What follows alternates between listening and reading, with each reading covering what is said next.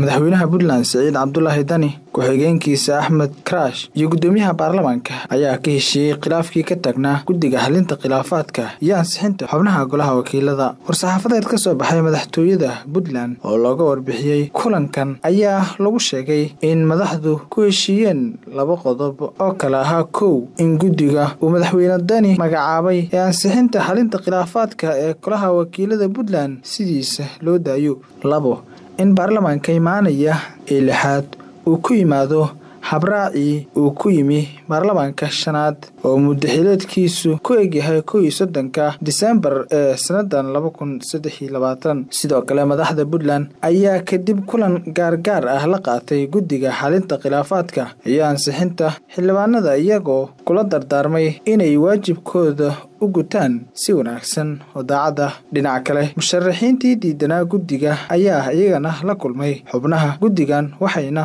door dheer kadib isku raaceen in guddigu shaqadiisu si daacad ah u guto lana joojiyo wax kasta oo ka hor imaanaya. Xeerka doorashooyinka ololaha doorashada xilka madaxtinimada puntland ayaa si weyn uga socda magaalooyinka garowe boosaaso iyo gaalkacyo waxayna musharaxiinta u tartamaya xilka madaxtinimada puntland ay soo bandhigay waxqabadkooda iyo ballanqaad ay u sameynayaan shacabka puntland. Si kastaba ha ahaatee arrintan ayaa ku soo aadaysa xilli khilaaf xoogan uu ka taagnaa magacaabista guddiga ansixinta doorashada puntland ee